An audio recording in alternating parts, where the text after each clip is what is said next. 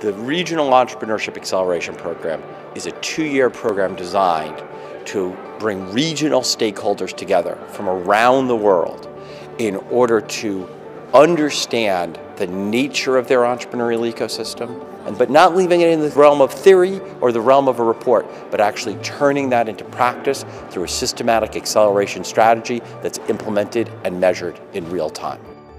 One of the big messages of the MIT REAP program is that no one individual or institution is responsible or can advance entrepreneurship on their own.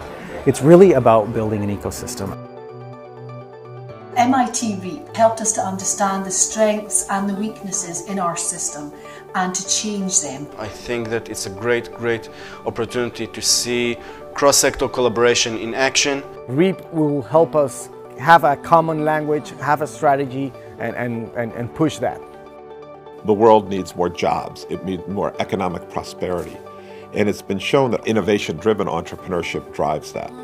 So this is the holy grail. Everyone's pursuing that. What MIT looks at is innovation-driven entrepreneurship. MIT defines innovation broadly as being the process that takes ideas from inception to impact and the MIT REAP program focuses on these innovation driven entrepreneurs, the ones who are most likely to have the greatest impact and create the most wealth and jobs. MIT research and insights show that the most successful hubs of innovation and entrepreneurship actually involve five key stakeholders in an ecosystem. Of course, the entrepreneurs, the universities are very important, and the risk capital providers. But most importantly, the MIT insight here is there's also a key role for governments and for large corporate enterprises. And so a REAP team needs to have at least one stakeholder from each of those groups. And that's one of the secrets to MIT REAP's success.